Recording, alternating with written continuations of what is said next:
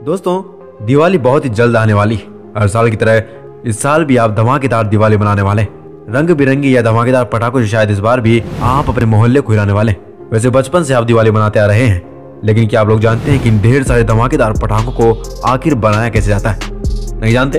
तो चलिए दिवाली के पहले ये भी जान लीजिए कि आखिर इन पटाखों को बनाया कैसे जाता है। अब दिवाली में आपने हज़ार दो हज़ार की लड़ियाँ ना जलाई तो आपने दिवाली क्या बनाई? लेकिन आप ये नहीं जानते होंगे कि आखिर इन लंबी लंबी लड़ियों को बनाया कैसे जाता है। तो चलिए दिवाली की शुरुआत इन लाल बमों की लड़ियों से करते हैं। लाल रंग की इन लड़ियों को बनाने के लिए लाल रंग के पेपर को कटिंग मशीन में काटा जाता है। पेपर को काटने के बाद इन्हें एक ऐसी मशीन में डाला जाता है जो इन्हें अच्छी तरीके से रोल कर देती है। लेकिन तब तक इन पेपर्स का आकार एक फीट जितना लंबा होता है।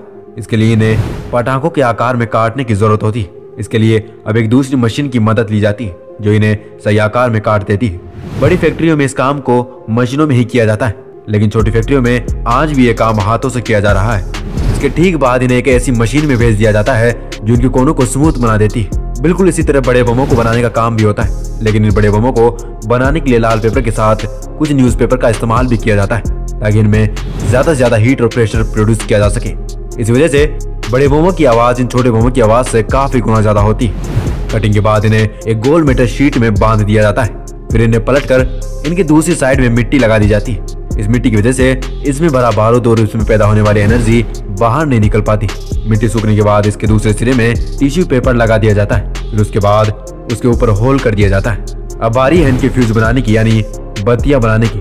फ्यूज को सही आकार में काटने के बाद इन्हें एक लिक्विड पेस्ट में डुबाया जाता है। फिर इन लाल पटाखों के अंदर इन्हें भर दिया जाता है।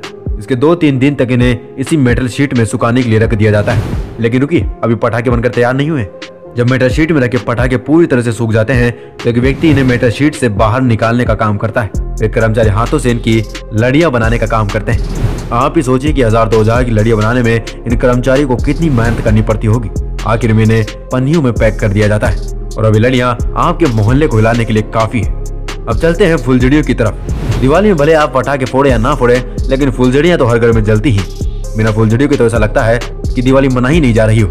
चलिए, अब इसके मैन्युफैक्चरिंग प्रोसेसिंग के बारे में जान लेते हैं। फुलझड़ियों को बनाने के लिए तांबे के तार को सबसे पहले लकड़ी के एक खांचे में घुसाया जाता है। इसके बाद इसे अच्छी तरीके से लॉक कर दिया जाता है, ताकि तांबे की तार गिरे ना। लकड़ियों के खांचों में तांबे की तार फिक्स होने के बाद ये कुछ इस तरीके से दिखाई देते हैं। इसके बाद इन सभी तारों को बारूद के पेस्ट में डिप कर दिया जाता है। यही वो बारूद है जो जलने के बाद फुलझड़ियों का मज़ा चार गुना ज़्यादा बढ़ा देता है। लेकिन अब ये फुलझड़ियाँ गीली है। इन्हें अच्छी तरीके से सूखने के बाद इन्हें फिर से बारूद में डिप किया जाता है, ताकि इनकी थिकनेस को मेंटेन किया जा सके। दूसरी बार डिप करने के बाद जब सूख जाती है, तब इन पर मैग्नीशियम का पाउडर छिड़का जाता है। इसी पाउडर की वजह से फुलझड़ियाँ चिटकने का काम करती है। अब करीब दो से तीन महीने तक इन फुलझड़ियों को सुखाया जाता है। पूरी तरह से सूख जाने के बाद इन्हें गिनती करके बॉक्स में पैक कर दिया जाता है। और अब आपकी फुलझड़ियाँ दिवाली में आपके घर को रोशन करने के लिए बिल्कुल तैयार है। तो दोस्तों, चलिए अब जानते हैं कि सूतली बम कैसे बनता है। अब दिवाली और पटाखे ना फोड़े तो दिवाली फीकी सी लगती है। लेकिन दिवाली में किसी बम को सबसे ज़्यादा फोड़ा जाता है, वो है सूतली बम। ये नारियल की रस्सी में बना एक छोटा सा पटाखा होता है, लेकिन इसका धमाका ज़बरदस्त होता है। तो आपको दिखाते हैं कि इन्हें किस तरीके से तैयार किया जाता है। इन बमों को बनाने के लिए एक स्पेशल तरीके कार्डबोर्ड बनाए जाते हैं। इन कार्डबोर्ड के अंदर बारूद भरा जाता है। बारूद भरने के बाद इन्हें सूतली से बाँध दिया जाता है। सूतली बांधने के बाद इन्हें धूप में सुखाया जाता है, लेकिन इसके पहले इनमें हरे रंग का कलर मिक्स किया जाता है।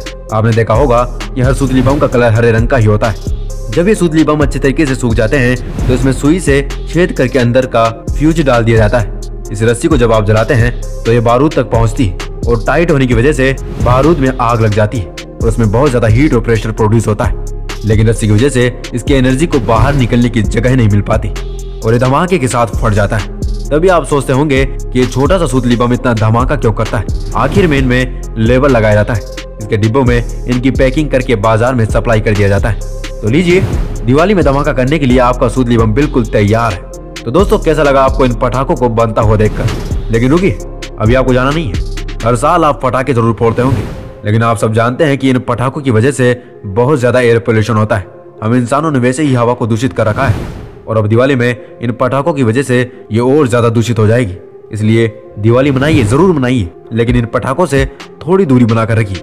अगर आपको वीडियो पसंद आई हो तो वीडियो को लाइक और सब्सक्राइब करना बिल्कुल ना भूलें। और इस वीडियो के अंत तक बने रहने के लिए आप सबका दिल से धन्यवाद। मिलते करें ऐसी रोमांचक वीडियो के साथ, तब तक के लिए ओम शांति।